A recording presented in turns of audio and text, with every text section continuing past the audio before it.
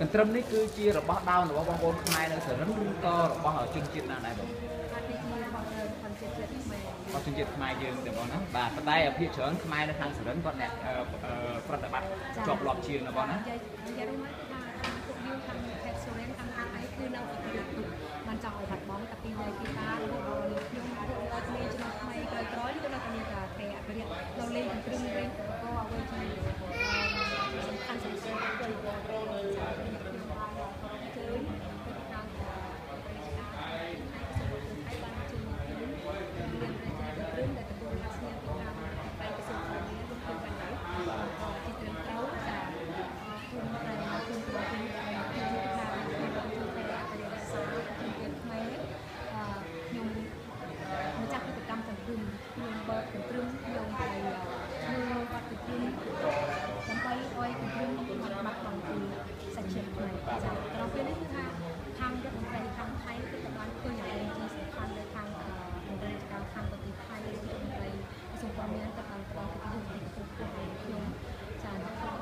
បានអញ្ជើញខាងឲ្យខ្ញុំក្នុងការស្នើរាជនីកន្ទ្រឹមឬតារា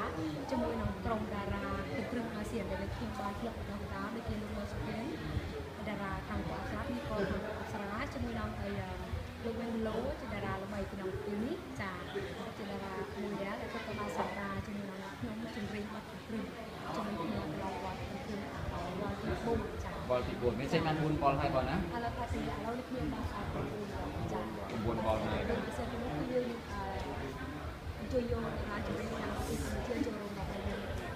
មកពីមូលហេតុនេះបានខាងក្រសួងវប្បធម៌ថៃចាប់អារម្មណ៍ដល់គឺថាចង់ឲ្យសហការនៅទីមួយទីក្នុងកាទីគឺវប្បធម៌ដើម្បីក៏ជាស្ពានមួយឆ្លងទៅវិញទៅមកយកពីតែក្នុងដល់ពីកពីចូលរួមជាមួយគ្នាយកសិល្បៈករសិល្បៈករតារាជំរុញតារាសម្ដែងទាំងអស់ដើម្បីសហការគ្នាខែប្រកបជាមួយគ្នាឲ្យកើតជាបែបមួយជាមួយគ្នាបាទបាទការរីកចម្រើនទៅក្នុងរឿងការ business តទៅ បាទបងមានកម្រងថានឹងមានអឺចេញបတ်កន្ទ្រឹមនឹងប្រហែលជាប្រហែលខែមួយវល់ឬក៏ពីរវល់នេះមានកម្រងថាចេញប្រហែលវល់ក្នុងមួយខែឬក៏មួយឆ្នាំដែរទេបងគឺតែមិនគឺគឺអាស៊ាននេះគឺឲ្យបានឲ្យមកខែខ្ញុំធ្វើក្នុងមួយវល់ក្នុងមួយវល់នេះខ្ញុំឲ្យបានយកតារាជំនាញល្បីល្បីទៅជាលោកគ្រូស្មានឆៃលោកគ្រូពីខាលោកគ្រូសំសែងរូបរឿងឆៃដាគីជំនាញហើយអូមកចៅយាយគឺតារា ល្បីខាងខេត្តសុរិន្ទយាយចាំគឺថាកំពូលតារាមកមកច្រៀងជាមួយគ្នាក្នុងមួយវល់ចា៎បាទមានទាំងខ្មែរមានទាំងខាងសរិនណាបងណាចាមួយវល់ហ្នឹងយ៉ាមកចំក្រោយទៅខ្ញុំបានយកដូចជាលោកចម្រៀងតារាចម្រៀងមួយដែលមានឈ្មោះតាមទៀតគឺលោកយនយើងចាមួយច្រៀងបាត់ទន្ទ្រាំជាមួយគ្នាដែរចាហើយនេះខ្ញុំចង់ថាអឺ និយាយទៅថាគឺថាអនាគតយើងអាចសហការជាមួយគ្នាទៅបានវែងឆ្ងាយជំនួសបន្តប្រកាសទន្ទ្រាំជាមួយគ្នាបានវែងឆ្ងាយដើម្បីធ្វើស្គាល់ទូទាំងប្រភពលោកបាទបងគឺមកដល់សប្តាហ៍កន្ទ្រឹមតើបងបានផ្សព្វផ្សាយទៅដល់ប្រជាជាតិណាខ្លះហើយក្រៅពីកម្ពុជាយើងដែលជាម្ចាស់ដើមរបស់កន្ទ្រឹមនេះចានេះខ្ញុំមានការបង្កើតគ្រាដើម្បីផ្សព្វផ្សាយបាត់គ្រឿងនេះហើយចាជាទីពិសេសនេះខ្ញុំចង់ឲ្យបដោតទៅក្នុងទឹកដីកម្ពុជាជាច្រើនដើម្បីអឺ ឲ្យជំនួយបងប្អូនខ្មែរគុំភ្លេចបទជាខ្មែរជាទីពិសេសគឺខ្ញុំមួយខាងខេត្តសូរ៉េនខ្ញុំឆ្លៃភាសាខ្មែរពីយាយពីតាខ្ញុំខំប្រឹងនិយាយភាសាខ្មែរឲ្យច្បាស់ខំប្រឹងនិពន្ធបទចម្រៀងខ្មែរដើម្បីកូនខ្មែរគុំភ្លេចភាសាខ្មែររបស់ខ្ញុំនៅថៃខ្ញុំនិយាយថៃប៉ុន្តែមកដល់ទឹកដីខ្មែរខ្ញុំប្រចេះនិយាយភាសាខ្មែរខ្មែរច្រៀងបទចម្រៀងយកយកបានចូលចិត្តស្ដាប់នេះគឺជាបំណងមួយដែលមួយដែលខ្ញុំមានបំណងចង់ធ្វើឲ្យក៏បង្កើតទៅមានត្រឹមតែខ្ញុំចង់ឲ្យតារាសម្ដែងរបស់គ្នាសហការចូលរួមជាមួយគ្នាកើតជាបេះដូងតែមួយគ្នាបាទមកដល់សប្តាហ៍ថ្ងៃតើប្រទេសថៃរដ្ឋាភិបាលថៃគាត់មានបានទទួលស្គាល់ថាកន្ទ្រឹមនឹងគឺជាសិល្បៈដំបូងរបស់ប្រទេសខ្មែរទេឬក៏គាត់គិតថាជាសិល្បៈរបស់គាត់ហើយហើយគាត់នៅមានលក្ខណៈស្តៀងគ្នាជាមួយនឹងកន្ទ្រឹមរបស់ខ្មែរយើងបច្ចុប្បន្នប្រទេសខាងអន្តរជាតិខាងអពុនពូនខាងប្រទេសថៃគឺស្គាល់ថាកន្ទ្រឹមគឺកន្ទ្រឹមគេនៅខាងខ្មែរលឺយើងនៅក្នុង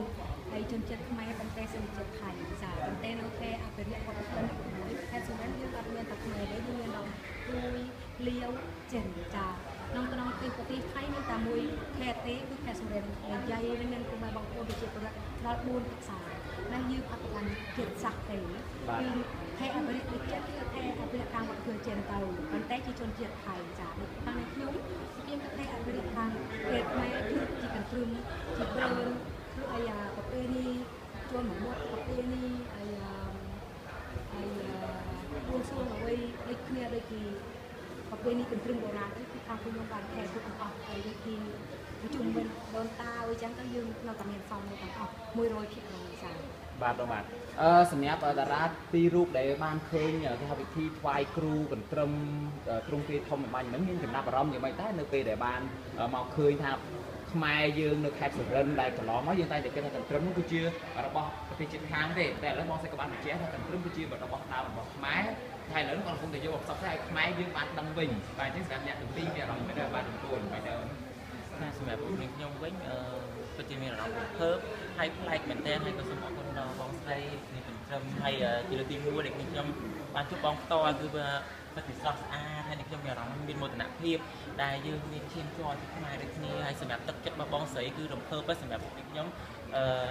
ចឹងចឹងរកអីនិយាយអត់បានហើយផ្លែកក្នុងអារម្មណ៍មែនទែនហើយមានអារម្មណ៍ថាសប្បាយចិត្តខ្លាំងហើយនេះខ្ញុំនឹងជួយផ្សព្វផ្សាយនៅវប្បធម៌មួយនេះជូនទៅដល់ពុកម៉ែបងប្អូនទាំងអស់គ្នាទៀតតាមអ្វីដែលនេះខ្ញុំអាចធ្វើទៅបានអញ្ចឹងសូមផ្ញើកន្ទ្រឹមខ្មែររបស់យើងទៅក្នុងបេះដូងប្រជាពលរដ្ឋរបស់ខ្មែររបស់យើងទាំងអស់គ្នាចូលរួមថែរក្សានិងអភិរក្សទាំងអស់គ្នាផងចាអរគុណច្រើនសម្រាប់កញ្ញាវតីវិញតើបងអូនស្រីលេងផនច្រឡំនៅថាកន្ទ្រឹម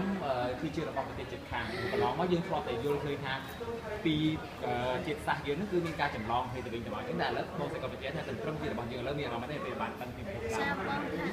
ក្នុងថ្ងៃនេះផ្ទាល់នេះខ្ញុំក៏សូមអរគុណដល់បងស្រីក៏ដូចជាបងបងទាំងអស់ដែលចូលរួមក្នុងកម្មវិធីនេះនេះខ្ញុំមានអារម្មណ៍ថារំភើបឥឡូវអត់ទាន់បាត់ផងរំភើបមែនតើដោយសារតែពេលខ្លះនេះខ្ញុំក៏ខន់ច្រឡំដោយបងបានជំរាបចឹងដែរថា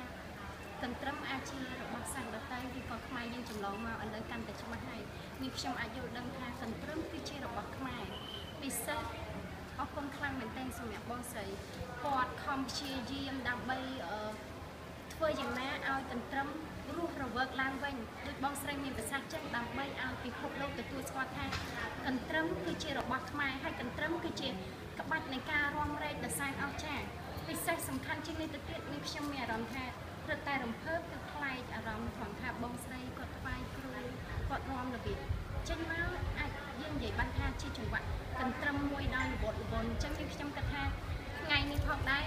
គឺថាមកចូលរួមពិតជាអស្ចារ្យហើយរំភើបរីករាយមែនទែនអរគុណបងស្រីអរគុណហើយម្ដងបាទហើយម្ដសម្ងរាប់បងស្រី រិនរ៉ាដាបាទសម្រាប់ផ្ទះកន្ទ្រឹមនេះបងស្រីធ្វើដោយទឹកលុយម្នាក់ឯងឬក៏មានការចូលរួម sponsor ពីសប្បុរសជនណាហើយប្រហែលជាចំណាយសរុបអស់ប្រហែលដែរបងចានេះខ្ញុំអត់បានទទួលថវិកាពីខាងណាទេនេះខ្ញុំខំប្រឹងប្រែងរលុយកាក់សំលុយសង្កាក់ដើម្បីផែអភិរក្សគីងឈើមកឡើងទីពីឡើងទីទីទៅ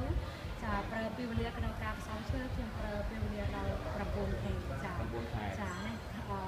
ចំណងក្រោយមកនេះខ្ញុំក៏បានកសាងទី9ខែខ្ញុំនឹងសម្រាប់នេះខ្ញុំថាការធ្វើខ្លួនទាំងអស់លក់ដីឈ្នីពីខាងប្រទេសថៃខ្លះខ្លះដែរចាហើយវាចំណាយដល់ខ្ញុំច្រើនដែរហើយទាំងអស់នេះខ្ញុំធ្វើអស់ចូលឲ្យ20ដុល្លារ20ម៉ឺន20ម៉ឺនដុល្លារ20ម៉ឺនដុល្លារបាទបងស្រីបាទអឺហើយ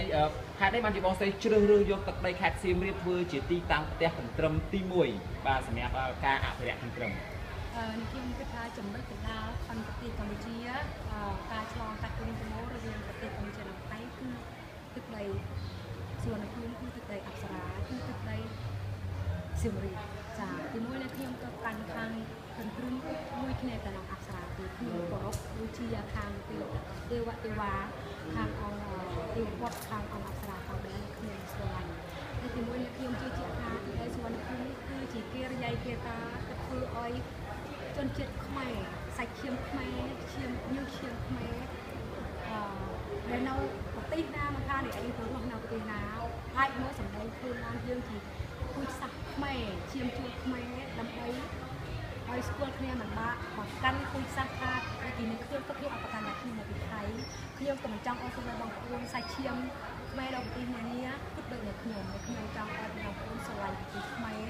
ដូចជាមានខ្ញុំស្រឡាញ់ខ្ញុំស្រឡាញ់គ្រប់ប្រទេសថៃខ្ញុំក៏ចង់ឲ្យបងប្អូនខ្មែរខាងនេះបានទៅជួបបងប្អូនបងប្អូនខាងខ្មែរលើគឺនៅខាងប្រទេសថៃខេត្តសុរិនផងដែរអាចារ្យហើយបានឃើញថាពួកយើងបានប្រឹងប្រែងថែរក្សាវប្បធម៌ខ្មែរទុកជាកំពុងខ្ពស់ខ្លាំងជាមែនទែនសន្និដ្ឋានបងប្អូនអាចស្មាតអត់ដល់ប៉ុន្តែដោយលោកយន់យើងក៏ធ្លាប់បានទៅធ្វើជាកម្មវិធីក៏បានស្រាវជ្រាវមកដល់8 9ឆ្នាំហើយដូចដល់ដល់លោកយន់យើងចាខ្ញុំបានសុខស្គាល់អង្គគាត់សហការ ជាមួយគាត់ខ្ញុំក៏សូមគ្រប់គ្រងគាត់សូមទៅសរគាត់ថាគាត់ជាលក្ខខណ្ឌសិល្បៈមួយដែលមានសាច់ឈាមខ្លាំងរាវខ្លាំងក្នុងការប្រកាសខ្លួនឯងថាគាត់អត់បដកាន់ពូជសាសន៍ទេគិតតាមរោពូជសាសន៍ខ្មែរណាដែលស្រឡាញ់សិល្បៈខាងខ្មែរបុរាណយើងទៅឬខ្មែរយើងគេដឹងថាតែផងចានេះគឺវែកជញ្ជក់ច្រើនតែតែនៅខ្ញុំសូមផ្ដាំផ្ញើទៅដល់អ្នកបងប្អូនអឺសាច់ឈាមទាំងអស់ពូជសាសន៍ខ្មែរយើងទាំងអស់គុំប្រកាន់សាច់ឈាមថា គំព្រឹមជាខណ្ឌណាពេលនេះខ្ញុំសូមប្រកាសថាអត់មានខណ្ឌណាទេប៉ុន្តែគឺវប្បធម៌មួយរោមជាមួយគ្នាក្នុងពិភពលោកប៉ុន្តែមកពីគេតាគេរយ័យពីខាងកម្ពុជាភាដែរសាខ្មែរបាទ អរគុណច្រើនបងស្រីដែលបានអឺអឺគេហៅថាបកស្រាយជូនដល់មហាជនឲ្យបានអឺអស់កន្ទិលពាក់ព័ន្ធជាមួយនឹងអឺប្រភពដើមនៃកន្ទ្រឹមបាទអញ្ចឹងសូមជូនពរឲ្យការងារកន្ទ្រឹមការងារអភិរក្សបងស្រីគឺបានជោគជ័យទាំងនៅអឺប្រទេសកម្ពុជាក៏ដូចជានៅប្រទេសថៃបាទសូមអរគុណច្រើនបងស្រី